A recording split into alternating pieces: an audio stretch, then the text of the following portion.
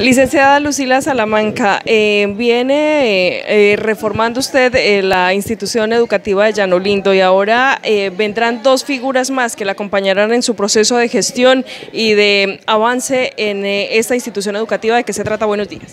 Sí, muy buenos días. Pues gracias por este espacio. Tengo aquí mis acompañantes que son los que pueden ayudarme a todos los procesos que estamos haciendo en la institución y hablar por su institución.